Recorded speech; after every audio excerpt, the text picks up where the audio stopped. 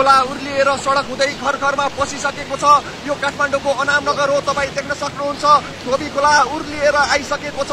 यो काठमाडौँ हो अहिले जलमग्न भएको छ। हेर्दा कतै गाउँ हो कि भन्ने महसुस हुन्छ तर नझुकिनु होला यो काठमाडौँ नै हो।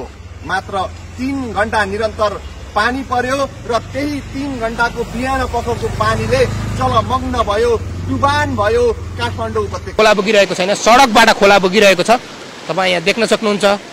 यस्तो अवस्थामा छ यहाँभन्दा धेरै तलबाट यो खोला बग्ने गर्थ्यो भने यति बेला यो सडकबाट नै खोला बगिरहेको छ पुल माथिबाट खोला बगिरहेको छ यो धोबी जनताहरूले दुःख पाउँछन्। बाइकहरू सवारी साधनहरू फसिरहेका छन्। ढिलाम्मे बनेको छ अहिले यति बेला काठमाडौँ। पानी बिस्तारै रोकिँदैछ। पानी रोकियो तर अब यो पानीले गरेको विनाश।